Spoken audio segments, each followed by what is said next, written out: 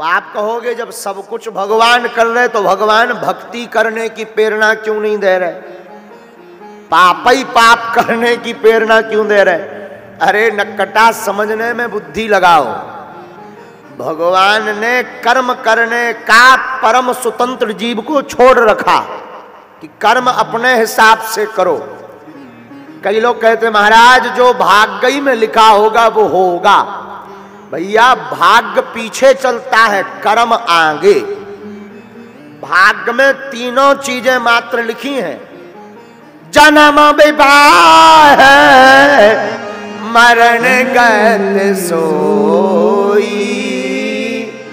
जही विधि लिखा सो तही विधि हो गोस्वामी जी ने सिर्फ़ तीन चीज़ें भाग्य में लिखी हुई हैं। क्या? जन्म, विवाह और मरण। बाकी तो जीव को खुद करना पड़ता है। किसको करना पड़ता है? जीव को। जीव मतलब हम आप।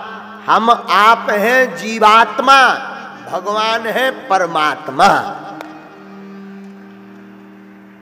तो हम आपको ही कर्म करना पड़ेगा। पर आप कहोगे, महाराज, एक जगह चौपाई कहती है कि सब ही न चावत राम गुसाई, बंधो कीट मरकट की नाई।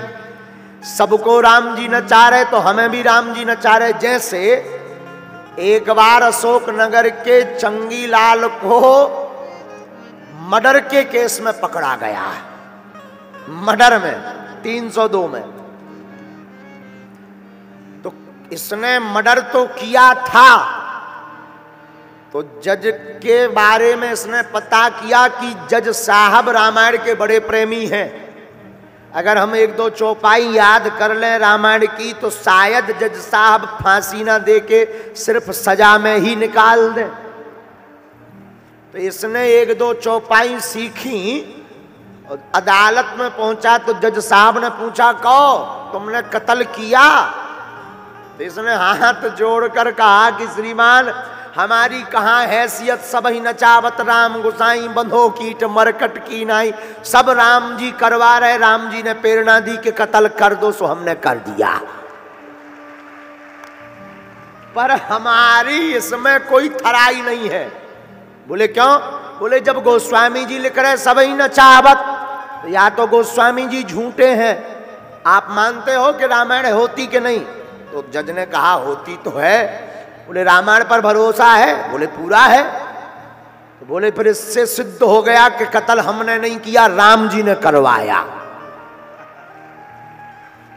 लेकिन जज साहब भी अशोकई नगर के थे तार वाले हनुमान जी के भक्त। तो उन्होंने कलम उठाई, और उन्होंने फैसला सुनाया कि इस कैदी को आज ही फांसी दी जाए। तो कैदी घबराया कि क्यों दी जाए जब हमने किया ही नहीं है? प्रभु ने प्रेरणा दी, तब हुआ है। तो जज साहब बोले, जिन राम जी ने तुम्हें प्रेरणा दी कि कत्ल कर दो, वही राम जी अभी अभी हमको बोले कि इसे फांसी पे लटका दो। है? तो बोलो, सीताराम, इससे यह सिद्ध होता है कि सबको भगवान नचा रहे। ये तय है, पर कर्म का अधिकारी जीवात्मा स्वयं है। कौन है? पर आप कहोगे, भगवान क्यों नहीं भजन करने के लिए प्रेरणा देते? भगवान पाँच बार घंटी बजाते हैं। कितनी बार? पाँच बार। सुनिए, बहुत नई बात है। भगवान पहली घंटी बजाएँगे तो तुम्हारी आँखों की रोशनी गायब।